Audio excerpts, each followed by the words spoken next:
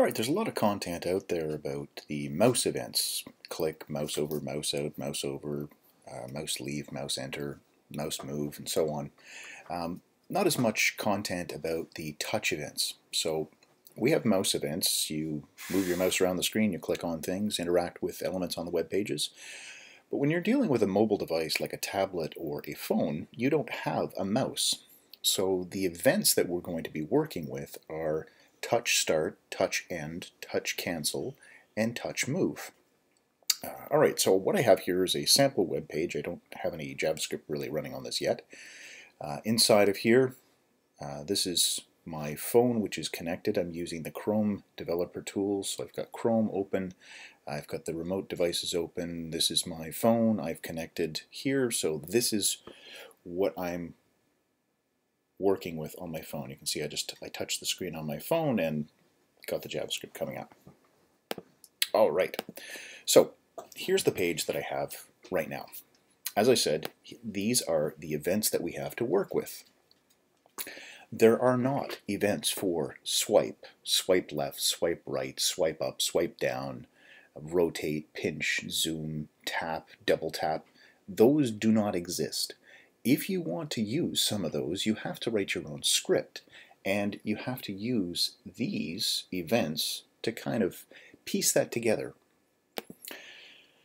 So in my web page, I use my typical add event listener. So on my paragraph right here, I'm adding an event listener, and I'm going to say touch start. Then I'm going to run a function called f. So in here, function f there it is. It's going to be passed to EV, the event object, the same as a click listener would. This event object is going to tell me things about the touch, where it took place. But one thing that's different with a mouse and with a touch, you can have multi-touch. That means I can touch the screen with one, two, three, four, five fingers. Um, if you're dealing with multiple styluses or other touch devices, you could have multiple points of contact. So the touch events deal with those multiple points of contact. And we can track those multiple points of contact through the event object. So let's say I wanted to write out in, inside of here, touches. This property exists inside of every event object, touch start, touch end, touch move, touch cancel, all of these are going to have access to this property, touches. All right, if I jump, back into here, refresh this, then with one finger, I tap. We can see touch list has inside of it. The length is 1, and the first thing inside here is a touch. So it's a touch list object. ev.touches was a touch list object, and inside of it there was an array where we had item 0 was a touch object, and it's going to give me client X, client Y. So that's the location within the element that I touched.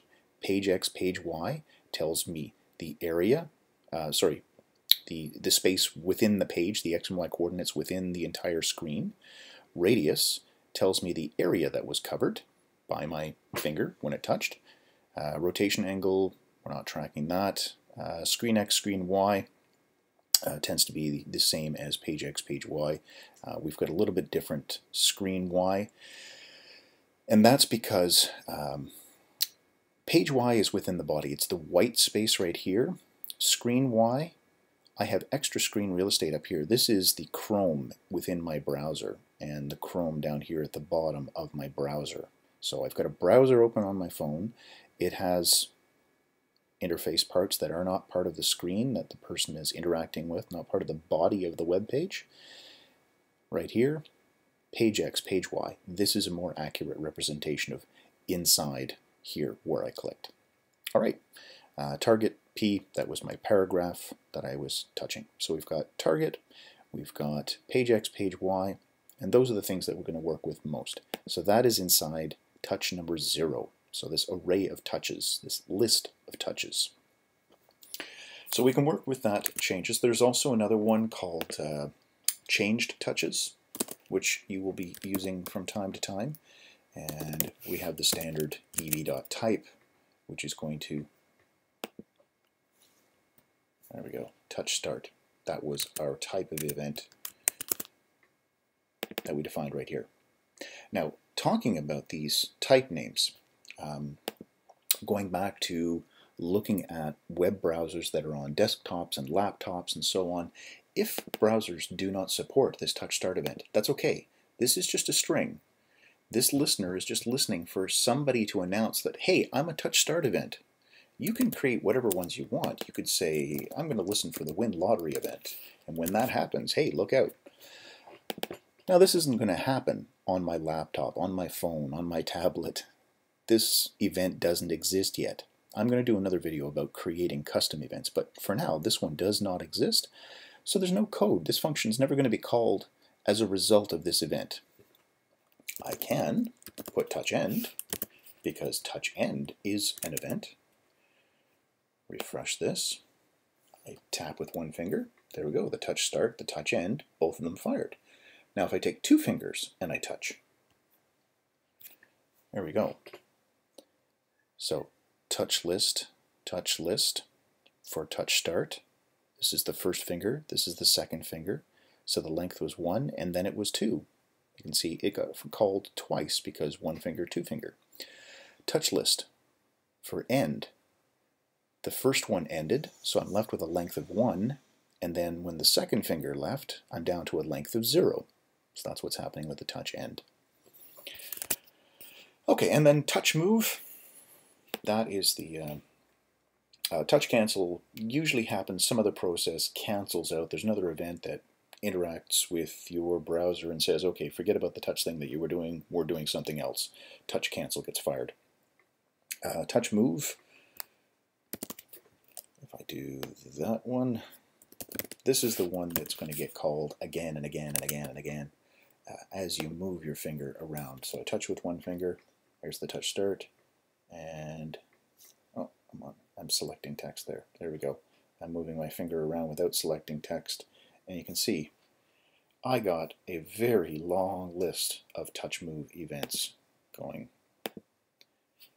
And these numbers here are changing. So 129, 376, the one before it, 129, 376.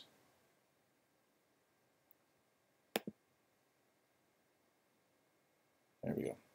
So 129 from 132 and 383, 376. So there was a, a movement in the x direction of about 3 pixels and a movement in the y direction of about 7 pixels. So touch move fires constantly again and again and again. And we can combine all of these events. As I was saying earlier, the touch start, touch end, touch move, these are the things where you call functions, and inside these functions, this is how we would figure out, okay, how much has this moved? Is this going to be a swipe? Am I moving just in the x direction or just in the y direction? Moving in the Y direction and tracking that with touch start, touch move is probably not something you want to do because there's a default behavior in browsers to move the page up and down, to reload the page when you're swiping in that, in that Y direction, the top to bottom. So left to right, sure.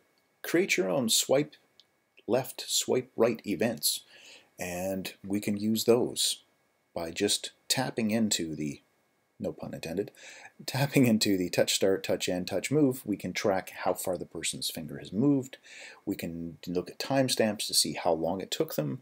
Are they slowly dragging their finger across the screen? Maybe they're touching the, the screen as they're reading, or they're trying to pan a little bit left or right, or is it a quick little swipe, a swiping motion? So pan and swipe, those are two different types of events. And you can use the difference between timestamps to decide whether or not you are moving left, moving right with a pan or a swipe. All right, so I hope that's helped, cleared up some of the confusion about what is a touch event, what's not. Um, I will leave a note here about the things that are not touch events, and I will create a code just so that you have that. Um, as always, thanks for watching. If you have any questions, please leave them in the comments.